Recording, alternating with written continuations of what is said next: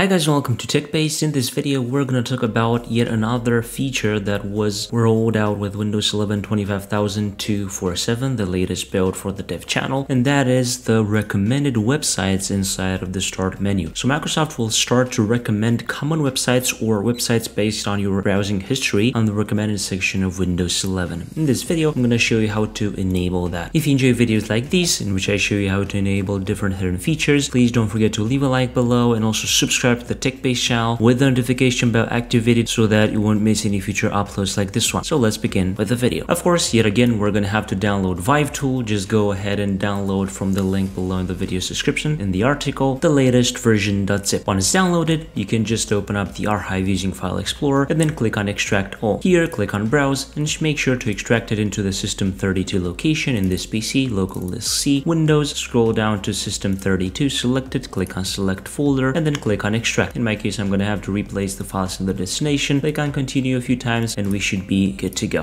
After that, you can open up the search box, type in here CMD, and then click on run as administrator and then user account control can yes. In the CMD, you're going to have to copy and paste in this command, which is ViVeTool slash enable slash ID 400595556. You're going to have this command in the article below in the video description. You can just copy and paste it. And after you press enter, you should receive the message successfully set feature configurations. After that, it is recommended minute to restart your computer for the changes to take effect. After the restart, make sure you right click on the start menu, click on start settings and select from here more recommendations because as I've tested only with this setting enabled, you'll be able to see recommended websites into your start menu. And as you can see, because I have the region set to US, I'm getting some common websites for now, but in the process of browsing other websites, I'm going to be recommended other websites here based also on my browsing history. As you can see, I'm seeing here two recommended websites. If you only enable enable the command that I've shown you, you will only see one recommended website. But if you want to see two recommended websites, just open up the search box, type in here CMD, click on run as administrator, and then click on yes, and then use the same command, but later on use the variant 3 or 4 to get the two websites